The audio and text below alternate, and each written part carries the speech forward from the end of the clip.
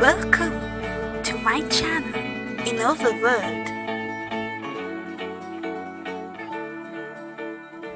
Hi guys, welcome to my channel. Today I'm here to solve one more requested question from flight mechanics. So here comes the question. An aircraft has a true air speed of 200 meter per second and it is performing a climb at an climb angle of 15 degree. The aircraft is experiencing a tailwind of 10 meter per second. Calculate the horizontal ground speed of the aircraft. So these are the options has been given in the question.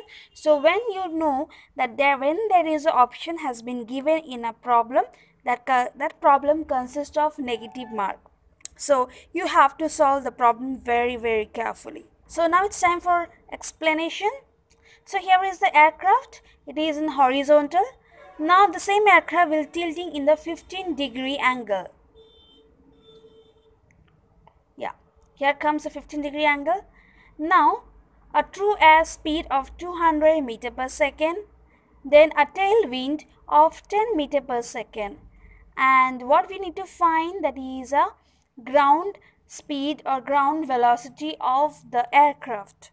So you have to be very careful when you put a tailwind because what is mean by tailwind the direction is very important or we can say the arrowhead direction is very important for this kind of problems.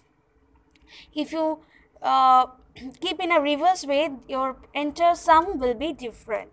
So make sure the tailwind that means it is heading towards the tail that's why the arrowhead is kept on this side and true air speed that is true air speed will be parallel to the horizon. So that's why I kept this way 200 meter per second and from here to this is a flight path. This is a flight path. From here to this TAS this true air speed is 15 degree inclined. And horizontal ground speed. Horizontal ground speed doesn't mean that it will be it will be inclined. That means at what relative speed it is moving with respect to the ground. So, uh, I hope this uh, diagram or schematic diagram is clear for you. Now, now it's time to resolve the forces acting on the aircraft. So how we can resolve the forces? Here we can't resolve on the vertical. Let's resolve on the horizontal forces.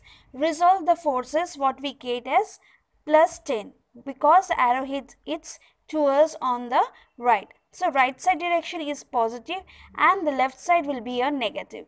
So plus 10 plus now here this TAS is inclining 15 degree this side. So when you resolve this force it will come as 200 cos 15 degree minus VG because the directing towards the left so it will be a minus equals to 0. Now by simplifying the equation what you get Vg equals to 10 plus 200 cos 15. Now you apply on your calculator virtual calculator cos 15 uh, how much it comes and apply that and you get as 10 plus 993.19 so when you solve it, you get as 203.19 meter per second. And round up we can say as 203.2 meter per second. And which is your answer? D.